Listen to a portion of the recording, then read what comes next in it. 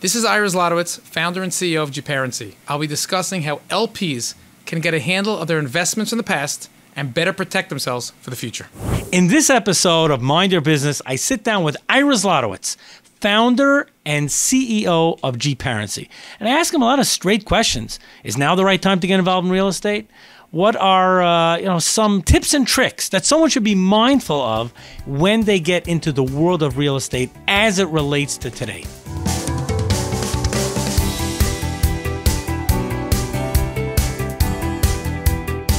Without further ado, Ira Zlotowitz. Ira, the founder and CEO of Gparency, thank you so much for carving out of your crazy hectic schedule and joining me here on the set. Mind your business. Welcome back. Thank you so much. Thanks for having me. It's uh, great to be back. And um, like the new studio. Last time in a different studio. That's right. Upgrade here. Thank you. Uh, Thank you. glad to be here. Let's talk about Gparency. It's a dynamic brokerage marketplace that streamlines the commercial real estate experience. A membership based commercial mortgage brokerage, they specialize in assisting players in finding financing, underwriting, and tracking their deals within minutes. Ira, last time you were here, I don't want to say you were in a different career, you're in the real estate space, but you founded and were running a major company. I don't want to say you you threw it all away, but you I don't know what what got into you. You decided to take some type of crazy risk and jump into Gparency. First, can you tell us about your backstory and then like like what happened to you? You took some big gamble here. Thank you very much. So, I would like to believe, as my former partner, I'm still a partner, but uh, I live day to day with him um, in the business. Used to say that there were two train companies. One's tagline was something best in transportation, and one was best in train uh, transportation. Okay. One best in train transportation doesn't exist. How do you get around today? Cars and planes and whatnot. The other one still exists. They adapted. I always call myself a trusted advisor. So, you know, it's time to he- stay ahead of the curve. I went into the brokerage business, the mortgage brokerage business, as a trusted advisor. And then as the market evolved and I f- saw, you know, the technology was also changing, I felt that to be able to stay that trusted advisor and be able to provide that same value as the market's going to change, just to evolve to a different business model. So I use it similar to the way they call Netflix versus Blockbuster. That's right. So I used to read these books. I said, I'll never want to be Netflix out of my own business. And I said to myself that I saw the handwriting on the wall then. Then, two years ago, people said, crazy, the market's going amazing. Why make a change? Why make a risk? And today, where it's, mo- it's most, most self evident, we just rolled out a few, uh, our, our, our marketplace, the technologies. People say, wow, there's a big difference in the world providing a value. Then, who, who thought about technology when it came to commercial real estate? It was all about, you know, the human interaction only, the broker. So on one hand, yes, you can't time a market. Maybe I could have waited six more months get six more months out of the old market before I went. But thank God I saw that, you know, we were fortunate to be doing $5 billion a year in transactions. We're number three in America in the number of transactions a year.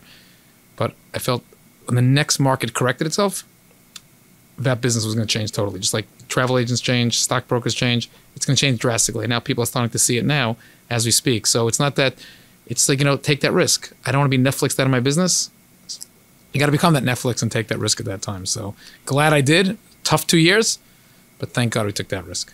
Now, Gparency was officially founded in 21. Yeah, on November of 21.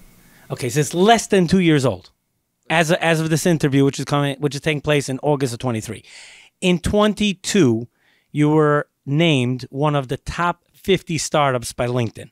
Okay, H- how did that? I mean, that's like, that's like that liftoff is like just wow. Right. So I appreciate that. So actually, what's interesting is that normally, as being into marketing, so you try to find, you you you, you apply to certain things. This was like out of left field. We didn't even apply to it. Someone, and you know, we reached out to LinkedIn and they said like, how did you like? No one applied. they actually said that's the power of LinkedIn numbers. They know where they know where things are at. They're not asking. It's not you know a lot of surveys. They get an opinion. You say you're great. They interview. They check people out, but you can't you can't fudge by the numbers. You know that's uh. Can we ask when you had Crain's 40 under 40? How did that come about?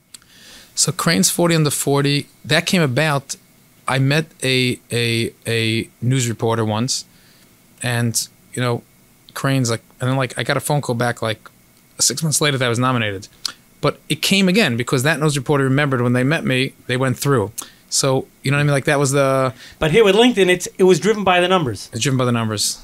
It was uh, thank God. Now, let's talk about that again. When you started in 21, it was a is it fair to say a crazy risk? Okay, to you it was more calculated because you understood. So- but it was, you know, when people invest in real estate, and there's two terminologies that get used. One is called cash on cash. I put in a dollar. How much cash am I getting back? Another thing is called IRR. It's really complicated. Basically, over the life of the investment, I don't care if I get zero year one and zero year two. Would I make up enough in three, four, five, six, and when I sell it to make up for that lost time?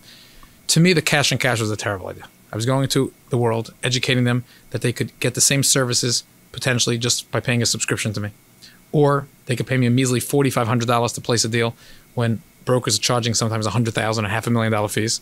So I was going to a place where if it wasn't successful, I bet the house. Yeah. So I'm educating people to that the old way is going to change and how people are going to go. So yeah, so at that time, but I was pretty confident in the IRR. I was pretty confident that when the market was going to change, was settle in, it'll make up for that lost time. Because the other business has also its flaws. As now, it's becoming clear in, in the current market today with the amount of uh, how, how how business is taking place. Ira, I just want to still hold on for a minute here. You were running a successful business, and then 21, you decided, okay, I, I have the vision for something, but there's risk involved, and you're fair to say you it was a comfortable position that you were at beforehand. What were some of the risks involved? Maybe you could discuss that from that angle. So there were a lot of risks. Um, it was nerve wracking. Um, I'd like to believe it was calculated at that time. You know, what made it more comforting is that it was the largest seed round from venture capital. So there was money in the bank and a, and a belief there's over 100 real estate professionals, 150 real estate professionals invested um, in the company. But still, the risk. The biggest risk was what was going to be the reaction of the players at that time? Number one, and with clients' skepticism, ready for a change. So, on the first part, what was interesting is that you know I was thinking to myself in my mind, what would I do if a competitor did this? Would I match them? Not match them? Think about the blockbuster story. So, I took it. I, I you know, it's in the beginning. I said if they match me, that was the only trouble I could have. But they're not going to match me because they're not going to give the business overnight. I at least have a plan to go into. So that didn't happen. But I thought that maybe they were going to get together, a few of them, and call up the banks and say, if you take deals from G-Parency, we're never doing business with you again. And then hold them like it's in industries. What I realized when I opened up, that was a big fear. It was my biggest fear. That when I opened up, they didn't take that approach. Not because they're nice. They didn't take the approach because number one, that they they so believe that like they're never gonna have competition. Like this little thing is gonna compete again. This idea is never gonna compete against them. So it worked in my favor. They knocked that idea. You always need a broker. You need a person. You need this. Even though I, I agree, you need a broker and a person. But they were taking quotes mm-hmm, out of mm-hmm. context. But no problem. That was one. It was a help. Number two, the commercial real estate business, and that's why I've been trying to tackle it, is so fragmented. If you look at every other industry in the world, look at look at the iPhone. What percent does the iPhone have a market share? What what percent does a, a certain car company have? A certain there's huge market shares. The number one brokerage firm in the country had less than a ten percent market share. Mm. So there's no like, and there's so many lenders, and everyone has a different. So when I realized that that's that's the beauty of the business. I'm I'm in a business. I'm in a space now where I have the whole market open to me. So that's that was my fear. Once I got past a few months in, then no one anticipated how quickly the market was going to slow. But but I had I have a marketplace. I have a technology. So that technology applies to everyone involved in real estate at that time. I want to ask how many of the other companies actually leverage your own technology. No, I'm not. not um, yeah. So I do know that there are there are, there are several competitors that I know of even tell me openly. By the way, your bank list. How do you think I get your bank list? I get the benefit. I pay a subscription. and I have it. Then it comes in under that uh, guide. So, you know, you know, I like to tell people if your broker is using my bank list, right? Yeah, so it means we have a great bank list. Their counter is yeah, but you don't know how to use it. Oh, I'm the broker. I know how. So that was like the banter that goes back and forth. Now, let's talk about the really the um, the foundation of G-Parency. What every business exists to solve a pain point in the marketplace. Maybe you can get straight to what was the pain point that G-Parency solved. So we used you used to use the terminology equitable access. Um, if someone came over to you and said, "I want to go and get involved in commercial real estate," where do I go? Right. No one has an answer. I didn't have an answer. Someone said, "Oh, uh, start by finding if you get money. Uh, start by someone who's brokering. Call this. Go onto this website." Go, I, and every step is like someone else. Like you know, you're in a mall and you have to go like to the to the to the to guide to say where's Right. the store, how do you go there?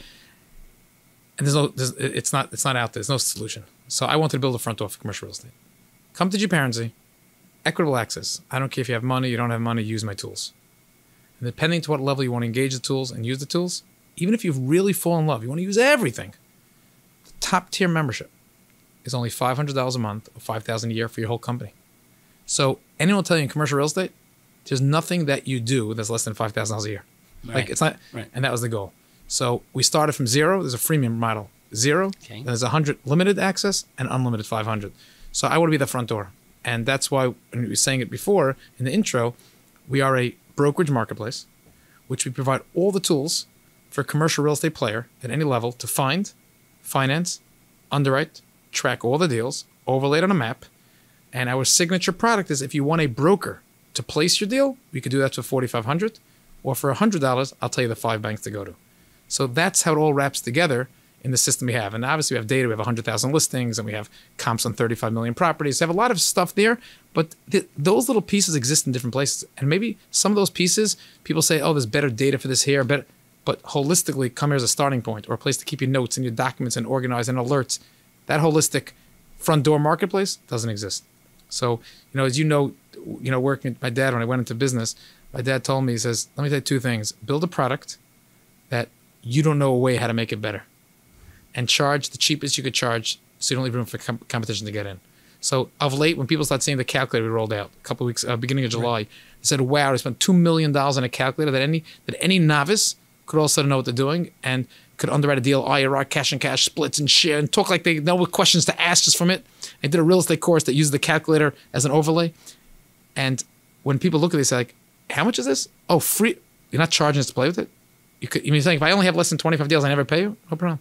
So they say, and even the top does five talents too cheap. What's the catch? There's no catch because you know what the answer is. There's 10 million commercial real estate players. You're either a GP, you buy real estate, you're an LP, or you're a service provider that markets to GPs. So I allow you, even if you're a service provider, the building we're in, if there was a, a, a title company or there was a general contractor could go to this property and say, I was the service provider.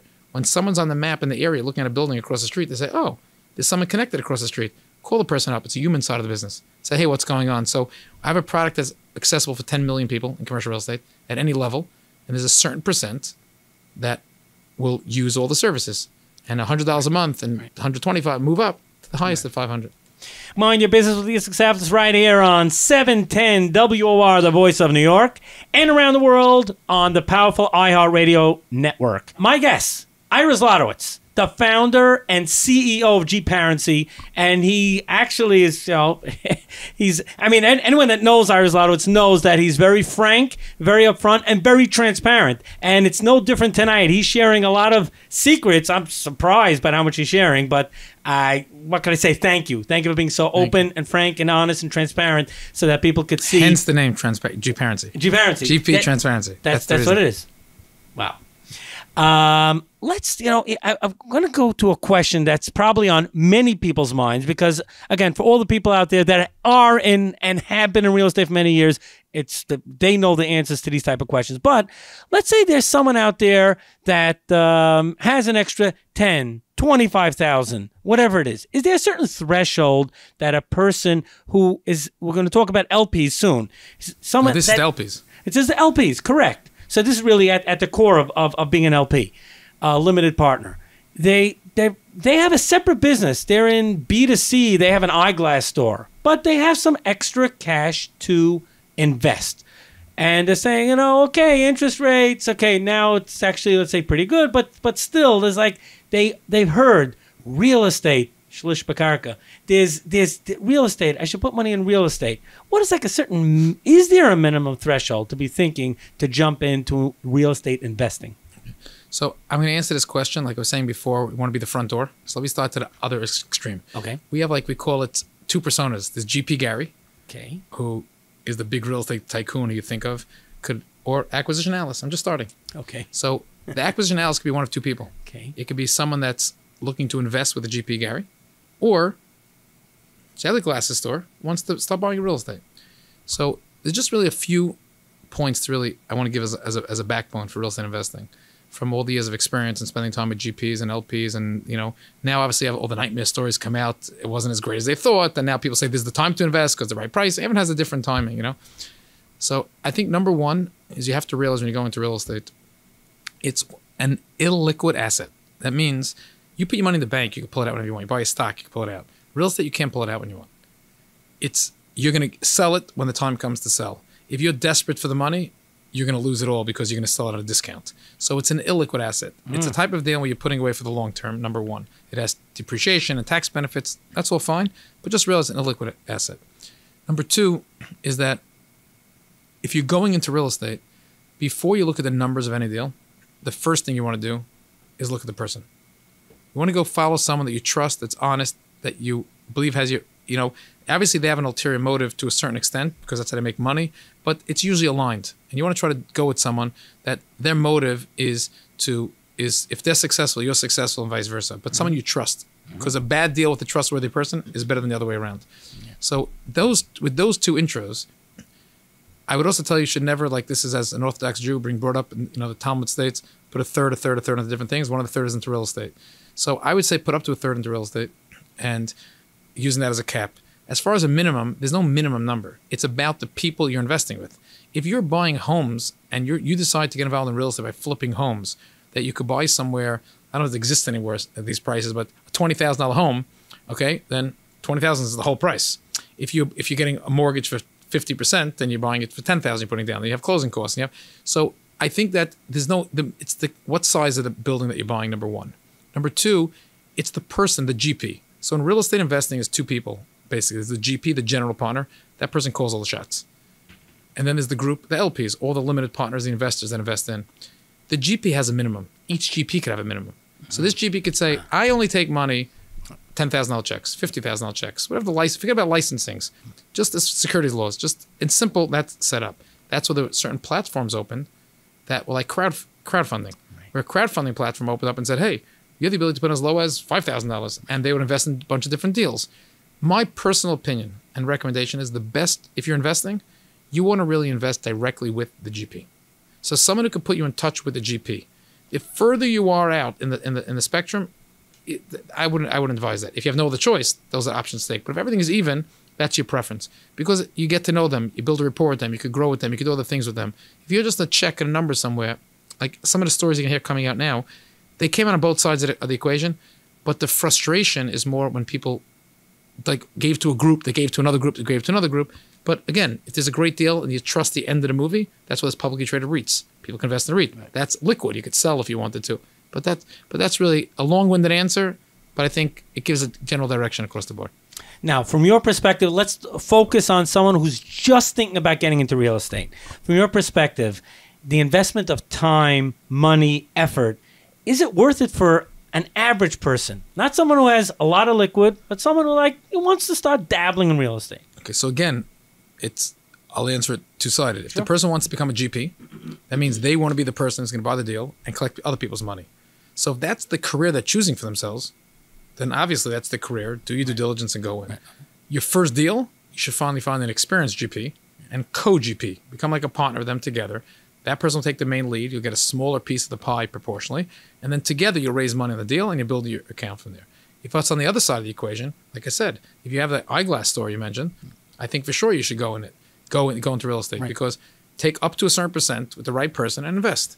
You know, also like people say, is there a better asset class? Should I invest in these types of deals or those types of deals? Should I do construction, development, land? A lot of this has to do with your own risk tolerance and more around the you, just like certain things pulls at you. Like I, I tell people all the, all the time, if you, if I, I, was talking to a group of 30 people right now on the show here, all the listeners, right. and I would say, and none of them are in real estate. I take a group not in real estate and I say, you found out that your great uncle left you in a will $10 million and you can't spend it. You have to buy a piece of real estate and live off the return. What would you buy? Some people buy 10 $1 million buildings. Some people buy one $10 million building. Some people buy houses to keep flipping and sell to profit. There's no right or wrong answer. That's why real estate's different strokes, different folks. But the fundamentals, the starting point are the same. Find someone you trust, make sure you do due diligence, and you know keep taking the steps from there. Okay, Ira, th- this question really applies to anyone embarking into uh, jumping into any any type of business. What are some of the potential benefits and the challenges for as it relates to jumping into real estate? Know it's a pretty open-ended question. Yeah, the benefits are the easiest benefits. If it goes well, you buy a building, that area, supply and demand. That's like you know, think about when industrial. All of a sudden, Amazon's opening warehouses. You could have bought something for twenty million, trudging along, think it's worth twenty one and twenty two, and all of a sudden, Amazon wants to be that neighborhood, and it goes through the roof. It's worth more than your business inside. Sell it for 40, 50 million. So you could have that kind of upside like crazy. There's tax benefits. All the great things exist on the good. The bad is that you lose a tenant, can't afford the payments. The bank wants to foreclose on you. So there's a lot of these risks that get involved. So that's not your business. So that's why if you're going with a, a, a syndicator or a GP that you trust, a general partner that you trust, and they have a good track record, they know the cycles. They know that never take more than this amount of leverage or even though I could I could have um, maybe have borrowed a little bit more, or I maybe could have um, taken a loan with a and have more of a return, but this it's not as long, it's not fixed for the same period of time. You know, maybe I should take it. You know, a couple of years ago, people taking floating rate deals because they said real estate's only getting better and better. Why lock in? Now those people in hindsight don't look great. Today, some people say the opposite. Don't take a long term rate today. Rates are up. Take a floating rate today because at least you get the benefits. Going to keep going down. The other people say no, it's going to keep going up. It's safe you, you can't time these things. You can't, you know, you know. I I, I, I tell I tell a client, what business are you in? The stock business, buy stocks. If you're in real estate, the loan makes sense today. Take the loan that gives you the safest thing to go do the loan. But other people have different opinions. So if you're going in the ups and downs, it's a risk with anything else. But it has one huge difference than anything else: is that it's illiquid. The pro, though, to a certain extent, if you're a big enough investor in the deal, you have a say in what we should do different for the building. Should we upgrade? Is it worth taking that risk? You invest in Microsoft, you invest in Apple, you invest in Google, you have no say. Right. You know, so that's that's like some people like the fact they have a say. Some people like the fact that there's actual tangible asset. At the end of the day, there's a, there's a building here, and if I could figure out to juggle the payments for the next 30 years, one day I don't have a mortgage. In theory, there's another game to always borrow as much as you can. You'll see all different strokes of different folks about how they do business based on how their mentor told them how they should buy real estate.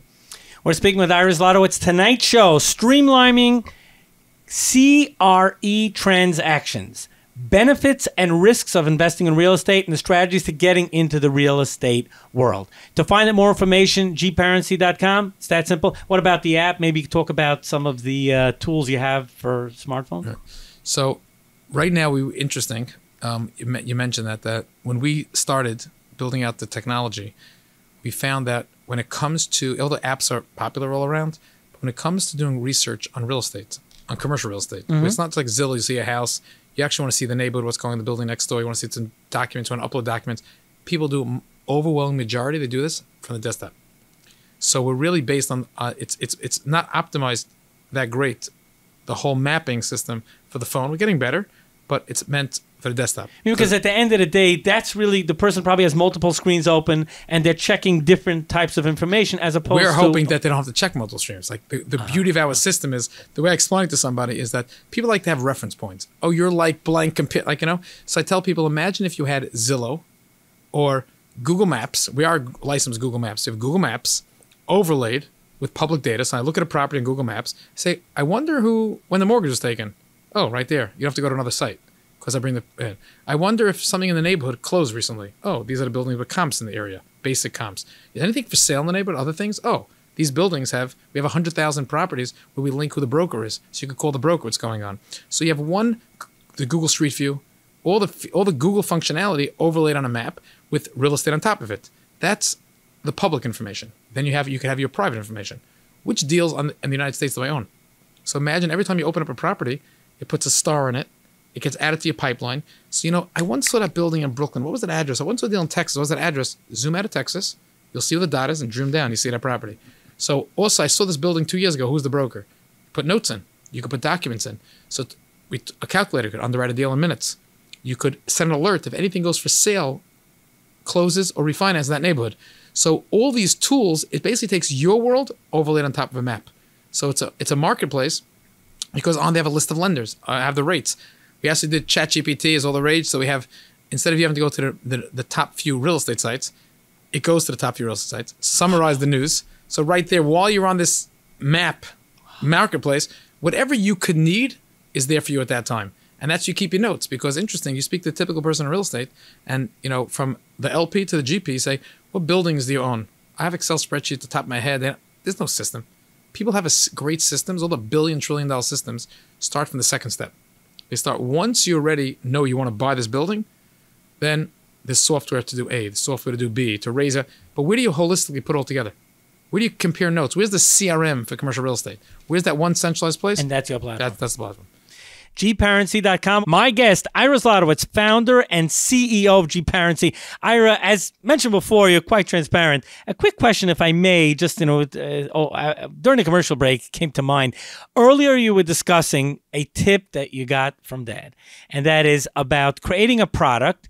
And one of the ways of being mindful about competition is put it out at a price point that will uh, that will will will will get tremendous buy-in from the masses, but it will be competitive enough that a competitor will say, "Ah, I can't do it for that price." Could you elaborate on that? Yeah, so it really goes with the first piece of that that I said. The first piece of advice was build the best product you possibly could build. Okay, yeah, Right. Left that part out. Then, with that, that really applies to anything. And then with that, what is the cheapest that you could sell it for? Not to be a cheap product. So if, if if I was building, like, I I'm, I built a brokerage team over all the years. Mm-hmm. I took with me my best broker that worked on my own personal deals, and I just ran the math that if I was able to get, if you look at the life of a mortgage broker, a mortgage broker, a team could close 100 deals a year. So when we, when when we would we have a product that for about eleven thousand dollars or so, we'll do everything from A to Z as a broker, the whole everything. Okay, over time people just want place the deal, but let's go with the eleven Because mm-hmm. how do you do it for so cheap? I said most brokers, how much do you think they make? The people that do actual work, right? They make a half a million dollars. They have an underwriter works for them, two three hundred thousand. They have an analyst under them for hundred thousand. They close a hundred deals a year.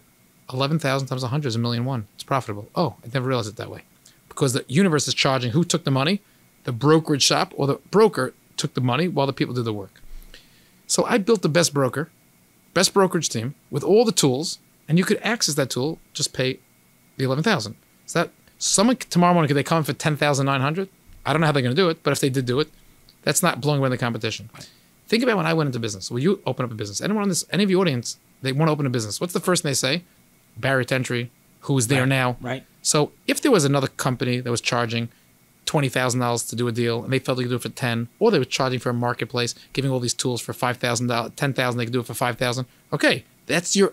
I think I could do it for cheaper. I could do it better for cheaper. Those are the only two things you could do to improve. I built the product that ba- there's nothing I know that I could make it better, and there's nothing I know that I could do at a cheaper price.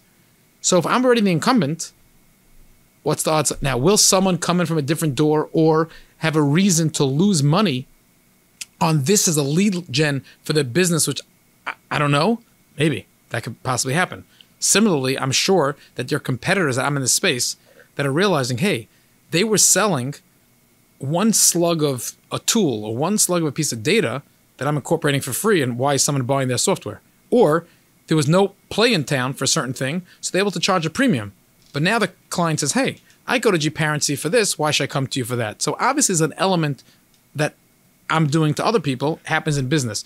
But I'm not giving someone that's thought out with a business plan to say, let me open this. Also, the cost, you know, when it comes to real estate, that's just a good example in the real estate, you know, conversation. There's always that big debate. What's called a good deal? Um, is it the right return? So some people have a metric called replacement cost. I bought this building for $10 million. If it burnt down, it'll cost 12 million to build. I'm buying it below replacement cost, meaning it can't it can't go down. Like that type of mindset. Obviously like the Titanic syndrome. When you say it can't go, that's when it goes. So we spent the last 2 years building the technology. And we built it knowing after 20 years of living in this space and I was dreaming about this for 20 years and knowing what to build and how to build it. Even if someone said they could build it tomorrow, I don't think they could build it for cheaper than we built it to get the same brand. But again, is there someone out there that could use me as a lead gen and the whole tool goes like when Google gave away different features? So that's a risk, but I can't plan for that. You know, like you know, they, they, they talk about when when when you could plan for a lot of things. If someone's willing to commit suicide, blow themselves up, and they talk about in, in, in the war, you can't plan for that. You can plan for a normal case in the normal case. So can I get competition? We'll have competition, yes. Certain people will be like Blockbuster. They waited too long, they won't be able to compete. But my bigger fear is I'm not worried about the big shops. What I'm worried about is starting to happen now. There's a guy working a shop, and he leaves the shop when he realized he was making only a small percent of the commission on a deal. He's only looking to recoup his lousy two hundred thousand dollars. So he could walk into an owner and says, "I close your deals. I'll do all your deals a year for twenty-five thousand dollars." He gets ten clients, he makes his living, and he goes home.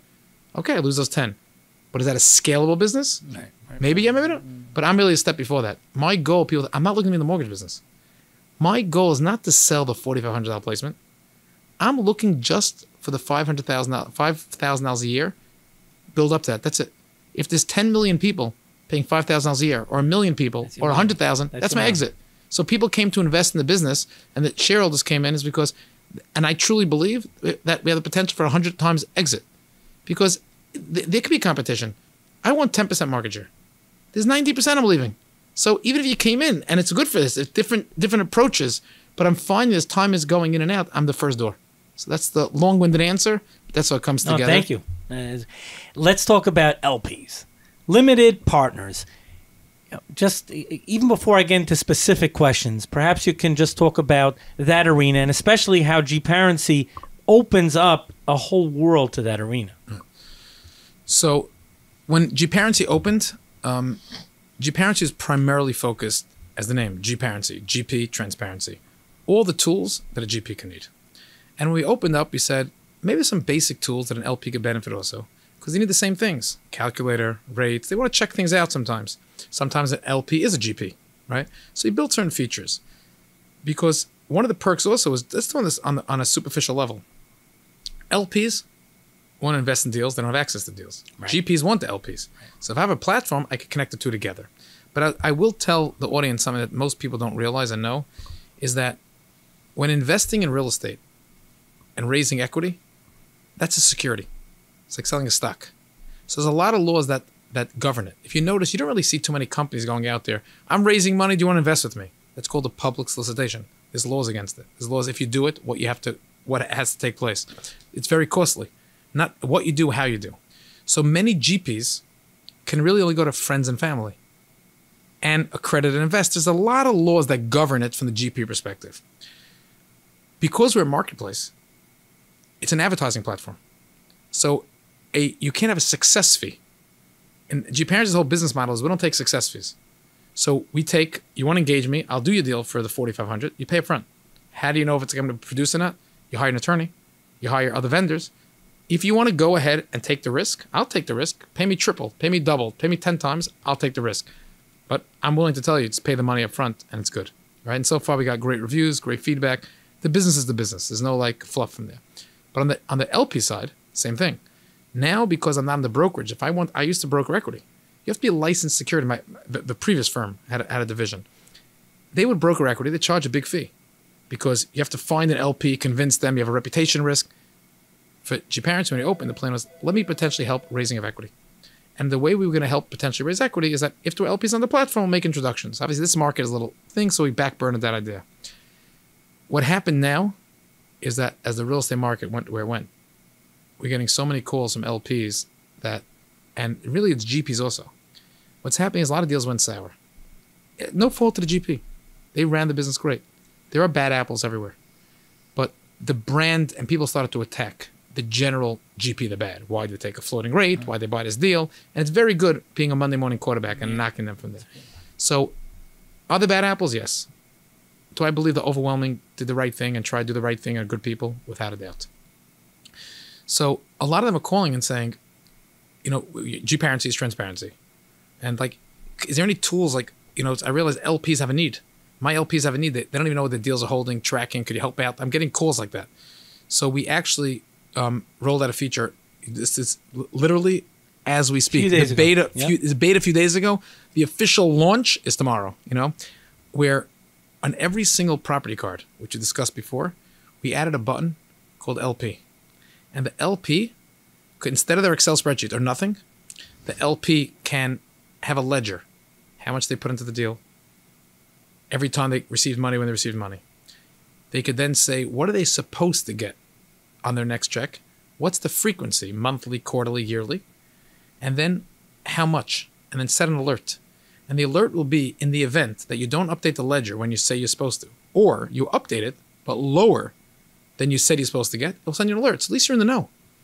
And on top of that, it will give you live what your cash on cash return is. Like I said before, cash on cash and IRR. You, know, you call up the GP and say, if I sold today, what would my lump, lump, lump check be? Mm-hmm. Put it in, it'll calculate live what your IRR would be. So in these scenarios now, we gave a tool for an LP to be in the know. No LP has it. So when we're building this, like you know, I I I tell people all the time. One of my clients told me that, and I was speaking to him about the business I he chooses. He goes, "I the goal in life is to help people and make money. Some people are fortunate enough that they can do both at the same time. You could, on the other hand, work in a soup kitchen. You're helping a lot of people. You're not making a living. Other times, you could do the the nastiest job, make a lot of money, and you have to only be able to help people by using that money to do good. So if you could be in both bets, and I was thinking to myself like, you know, here's the situation where there's an LP who's in pain, has no way to keep track. It doesn't make sense to spend big money. There's no system out there that's that's LP centric. There's no system that has the interest of the LP of a system. There's a lot of systems out there, great systems, that are for the GP could buy and say, hey, these are my investors. Let them log into the platform. That's great for the GP view, and the LP helps. But let's say the LP just wants, I don't invest with someone who has a system, or I, I just my own dashboard for myself, like my own. There's no system built for them. So I said, hey, here's a win-win. I could add this feature. Some of the GPs requested it, and at the same time, my system works because being free. So you could use the way like a price system up to 25 deals at any time. Most don't have 25 deals, and if they do, it's $100 a month they're paying. It's not real money that that's making a difference. But at the same time, if that LP's on there and they start using other tools they also have, there's a calculator. They can say, "Wow," there's, they share it to people. Hey, where did you get this from? Oh, GPARENCY. So this this can go ahead and pay pay Marketing back. value. Marketing value. It's more like it's like the viral value. It's like the you know I read a book years ago called The Go Giver. I would love to say, what can I keep building quality and quality and giving and giving and giving, and hopefully that comes back. And so th- this thing worked out. The GPs are so happy with this this move. LPs love it. They have something in front of them. There's documents they could store the documents. They could store the notes. They they could put an alert on the neighborhood. An LP doesn't know anything. They bought a building in Texas. They don't know anything about Texas. Press the button on the property. If anything trades hands in the neighborhood comes to sale, they know it. They're not like they're they're in the know. They get a new deal, they could use the calculator. Even though they don't know real estate, I did a real estate course, loaded onto the site again. Same free value. You could go through the real estate course when you're doing using the calculator, even if you're a novice, even if you're acquisition analyst, you could go through that real estate course and uh, go through the calculator just by the numbers the client sent you, and you could start realizing what questions to ask. I tell ChatGPT. One of the biggest things at the beginning of ChatGPT was you say, write a contract that I'm buying a building and also draft this contract. People, wow, you know, the first iteration Right, of it. I- But you know what the interesting is? In that contract, it left blank spaces like Mad Libs. So you knew what you were supposed to ask. Like, and I'll get uh, my deposit will be. I didn't tell you a deposit. It knew you have to have a deposit. Like you can ask, what am I missing? So when someone says tells you invest in deal, get a twenty five percent return, you call your friend, should I invest? Uh, what cap rate is it buying at? What? Oh, you now could take his book OM and put into the calculator, and all this saves at the same time. So it's the same tool. So the same one tool gets everyone in real estate. And my goal is to get that the, the of the GPs, the heavy hitter GPs, use it all the time and move through the funnel. All right, Ira, we still uh, still have around seven eight minutes left to the show. Um, before we get back to the LP investment tracker, because I still want to get some more. it- it sounds sounds too good to be true, and that's really what it. Uh, and it sounds like that's exactly what it is. But I would like to get And some leaving more no room for competition. I uh, yeah, you discussed that as well. But how does the you know the rates are like when you first got into the industry around 25 years ago? Uh, the, the rates are quite high. How does that factor in for an LP? I'm sure you get the question all the time. Like, is now the right time to get involved in real estate with the rate so high, or maybe it's a terrible time? Okay, so I'm going to answer another question for the LP. It's different from the GP. So the LP, what changes as follows. Three years ago, four years ago, banks were paying zero percent. LPs that make money in their in their store, in their business. They're thinking about retirement, where they put in their money. They'll, if they found a real estate deal, even if it's throwing about five percent, eight percent, nine percent, it's some money Yeah. preferred returns, whatever the terminologies are. Yeah. What's happening now is that an LP could put money in the bank, liquid, pull it out when they want, safe, four percent, five percent, six percent, three and a half percent, all different numbers in that range. Mm-hmm. They say, you know something? Unless I'm getting a deal that could sh- could price out, the reason why real estate prices are nervous going down is, is driven by the LPs. Part of it. They're not at fault. They're not doing bad, but they say, I'm not going to invest in a deal where you're only going to pay me seven percent and my money's a liquid, and then only have to wait for it upside down the line If I can money in the bank at five six, I'd rather secure at five six because I don't know what's going to happen with real estate. So they're demanding more. In order for them to demand more, that means that GP has to be able to have more profit to pay. Right. They can't pay the same price of the building, right? One of the coolest features when we rolled out this calculator, you know, and we show it to someone that says you got to do one a very important feature. I know the return I need to make. I finished underwriting the whole deal a couple of minutes in. It showed me a IRR 25.3. I know that my investors need a 30%. Just any number, just make up the number. We just, we're adding that into the calculator. Coming dropping next week. We can type in I need 30%. It will go back and re-engineer and calculate. If that's the case, this is what you got to pay. So because that, the seller says, I'm not selling anymore. So lot, it, it's feeding a lot less transactions. What got us to this point? What got us to this point was that real estate was this opaque business. Who wants to go and deal with tenants? Also, it's a big issue politically in certain states, right? They want the government does. I mean, not the government. They don't want landlords to make money, and then they don't understand the whole dynamic of everything. But so that's a level of risk. Then you have, um, um, so over in the beginning, real estate kept going up. Bought a building for 10 million, sold it for 12 million, sold it for 14 million, cashed out, refinanced, bought it. Everyone, everyone wants to get involved. So someone said, I don't want to take, you know, GP went over to someone and said, um, Do you want to invest in real estate?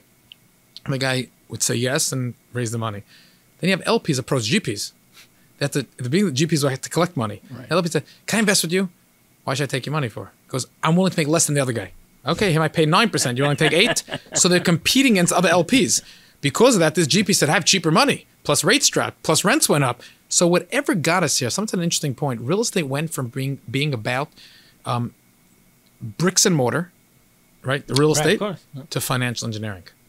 So now that real estate prices went up, now that, now that rates are up, inflation's up, everything that got us here is exactly the opposite.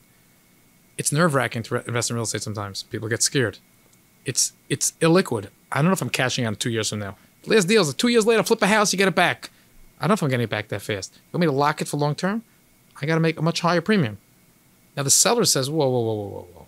I was selling this property at 10 million. You want to offer me nine? I'm not selling. What do I do with the money? In the last market, the guys, I'm not selling for 10. Okay, I'll pay you 11. Now it's just the opposite. So for an LP, sometimes, you know, where a few clients put the perspective, and I agree with it, is that a deal today is probably, if you go into it today, is probably a safer deal if you actually go into it because by the time you you're ready, the rates are up, Right. so there's room to go down, more room to go down than up. Right. You you calculated the rents are not growing. Yeah, if it makes sense today, it should make sense over time, as opposed to a few years ago. Deal works. What if eh rates are going to keep never going to go up? Eh rents are never going to go down. Now it's the opposite, which makes it a positive. But for an LP, there's a level of you want to make sure that the people you're investing with today are definitely honest. Are they are they doing a deal to save themselves for another deal, or are they're doing the right deal? So ask these questions. Be transparent.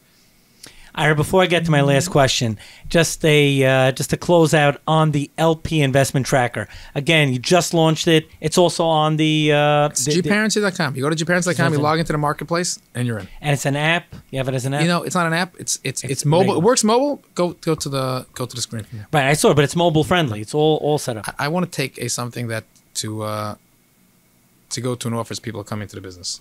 So, I'm pretty active on LinkedIn. Um, I respond to all the messages on LinkedIn. I definitely see them. People just want to go to other platforms because if I went to a bunch of other platforms, I couldn't be responding to the messaging there. But I will say to the audience, if someone has a real estate question, I will give out my cell number. And you could WhatsApp me. I prefer WhatsApp or text. I definitely see it. Try to respond. Um, it's 917 597 2197. I have one number. I don't have four different numbers of different groups and different people. and to email me is iraz at gparency.com. If it's a quicker question, probably as an email, because then I could forward it to the right person on my team to be able to go and help you. And this is what my goal is. My goal is to, you know, if I, as much as I could give back, I'd rather, like I said, if I can make money and help people at the same time, why do I have to go do two different businesses? Let's do it all together at the same time. So, gparency.com, it's built for that. Like, and it's it's it's mobile. It's mobile. It works on mobile. Not that great compared to the desktop. We're gonna get that better, but that's where we're at. Before we close out the show, eh, you you also have your uh, your finger on the pulse, and you're uh, you know you're known to kind of look into the future. What are some tips, just as we close in the last minute or two, that you could share with the audience uh, that kind of a, a, trend that you see coming up ahead? Uh, uh, we all know that those that follow you on uh, LinkedIn, you you call the ChatGPT and the AI revolution early on. Embrace it. Learn it. Don't let it, you know, don't let it pass you by. What are some other tips you could share with for whatever industry you're in? I think that um, the most important thing, I think the trend is going to, we're going more to a world of gig economy. And I says years ago with like with Uber, that's the best example. You know, I have a car. I I met this guy. I, I took an Uber. Really looked professional guy. I said, "You're an Uber driver?" Like, it didn't fit in the beginning the stereotype. He goes, "I work in downtown. He's take the train. I wanted to have a car, so I, I signed his Uber. I leave my house extra 50 minutes earlier. I put the destination in my office building. I drive to work. Along the way, I, I, I rides. And when I leave, I can leave that second. I have to wait on a train. And I go back home. And I make money. And it covers the cost of the gas and the tolls. And I, and I have a car. So the, the world we live in is a world of like, my whole company is remote. And I hire experts in each space. So I don't hire a marketing guy or marketing gal. I hire, what's your expertise? We need someone for SEO. I'm hiring SEO. I need someone for CRO uh, conversion rate optimization. I need someone to do different. I hire each niche of each person, but if they don't use ChatGPT, I don't use them. If they're not using AI, I'm not using them. Once I'm somebody ahead of the curve. So I just think that I think going to happen going forward is that a lot of companies, especially if you're using remote, are going to say, what's the difference if this person's working for me part time, full time? What's the difference where the world is sitting? And I think that equilibrium is going to start coming out there. People can say, I'm going to hire for a niche. So if you have a great niche of what you do, then you're going to be able to charge hourly for that at a higher rate You'll have more clients and customers. So that's coming more and more fractured. Like, do I need a CFO caliber or would I take fractured CFO? Do I need a CMO? Fractured CMO. What am I missing?